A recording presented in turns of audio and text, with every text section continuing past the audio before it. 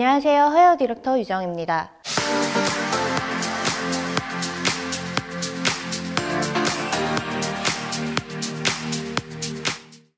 오늘은 C컬 드라이를 할 건데요. 기본 중에 가장 기본이죠. C컬 드라이는 쉬우면서도 가장 어렵습니다. C컬 드라이를 한번 해보겠습니다.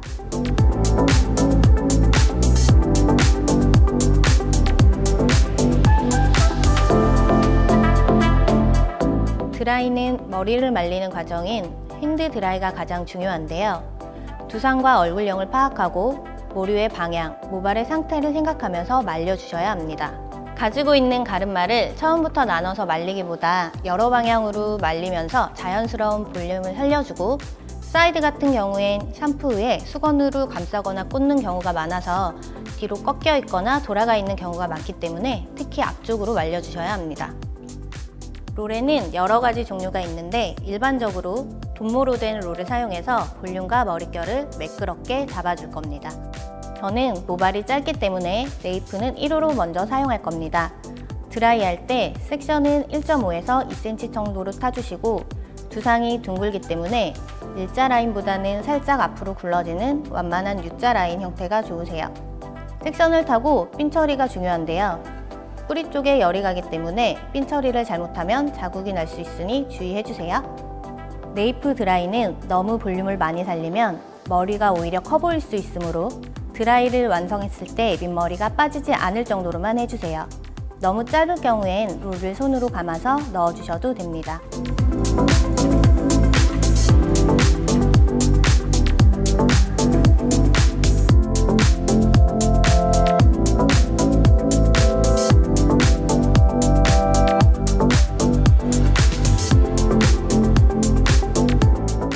드라이할 땐 항상 롤과 섹션이 평행이 되게 해주셔야 드라이열이 골고루 가고 예쁘게 드라이가 됩니다.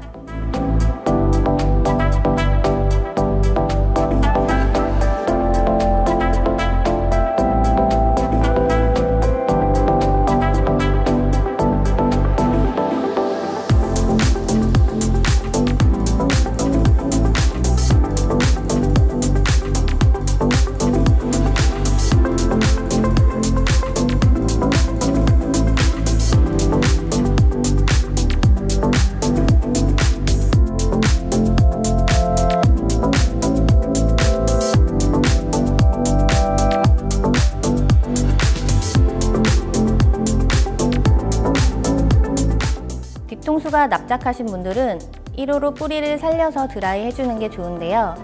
뿌리를 찢거나 꺾어서 살리시는 분들이 많아요. 하지만 시간이 지나면 울퉁불퉁하게 올라오기 때문에 최대한 꺾지 말고 룰을 굴려서 살리는 방법으로 해주세요.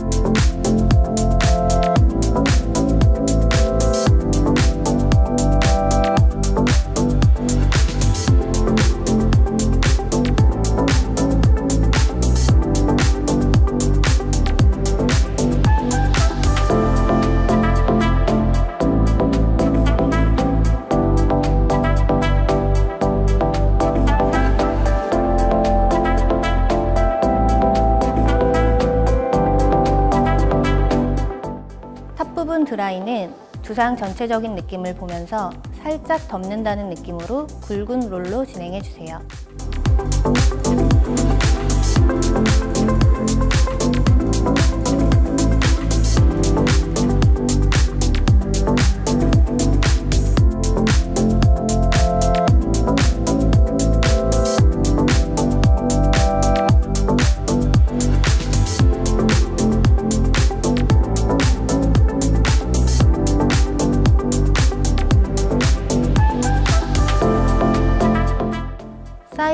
모량이 많은 쪽부터 진행하시면 전체적인 밸런스를 맞추기에 훨씬 좋습니다.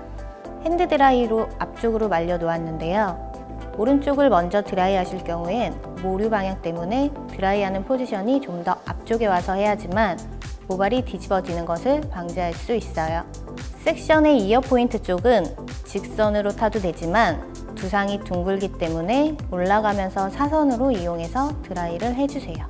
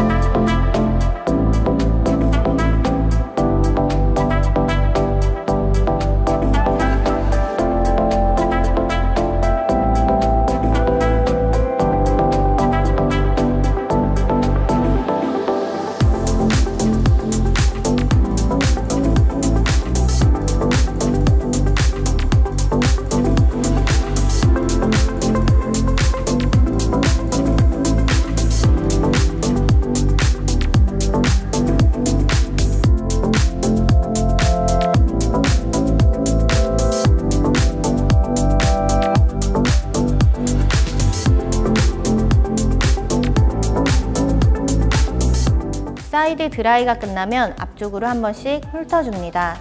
가르마를 너무 가르는 것보다는 지그재그로 자연스럽게 타주면 조금 더 자연스럽게 드라이 연출이 됩니다.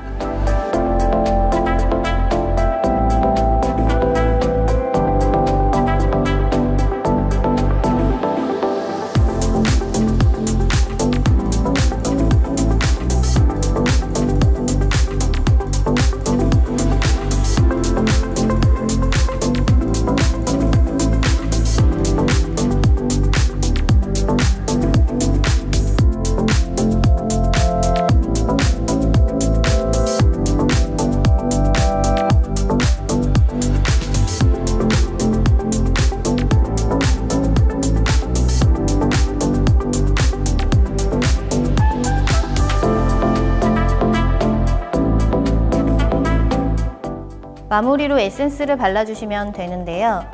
모발의 상태에 따라 사용해 주시는 게 좋으세요. 저는 모로칸 오일로 마무리하겠습니다.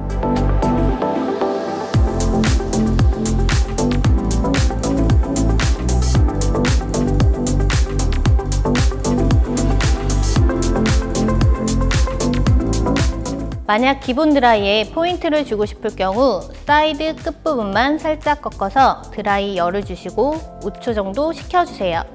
그럼 앞쪽에만 살짝 뻗치는 다른 느낌의 드라이가 됩니다. 지금까지 가장 기본이면서도 어려운 C컬 드라이였습니다. 뿌리 볼륨을 좀 더 살리고 싶은 경우 뿌리 고데기로 사이드 쪽과 top 쪽을 한 번씩 잡아주면 볼륨이 하루 종일 유지됩니다. 지금까지 헤어 디렉터 유정이었습니다.